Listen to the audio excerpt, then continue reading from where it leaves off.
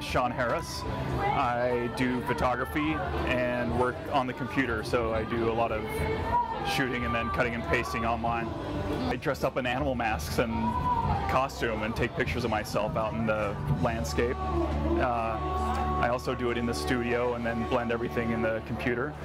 Uh, but the whole concept itself is just extremely absurd to me, and so it's hard not to have it be whimsical and silly and you know something to laugh at, but also I want it to be thought-provoking and you know something that holds one's interest.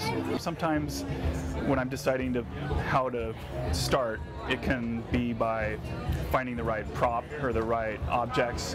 Uh, sometimes the animal is what begins the idea. Sometimes it's the landscapes in which I'm shooting in that starts the story. Uh, but each one's different in, in my approach. Inspiration, again, it comes from the animals that I'm choosing to incorporate into the scene. Uh, sometimes the, the interiors or landscapes tell the story from the get-go. Uh, but I do, I am interested in how we interact with animals, how we use animals in our culture and in our diets. So I do a lot of comments on food processes. I just want everybody to know that I shoot everything. All the imagery is my own photography, that I'm building it up one image at a time. It's not something that I'm going to the computer and just downloading.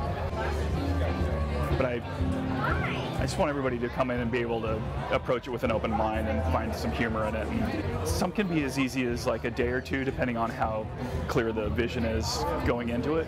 Others can take uh, two or three weeks to assemble just on the complicated amount of images, but some can take maybe six months just because I'm trying to find the right background for the right animal and you know things just may not be working out. I just would like people to come into my booth and experience animals in a different way where you know they leave here thinking that they should be treated better.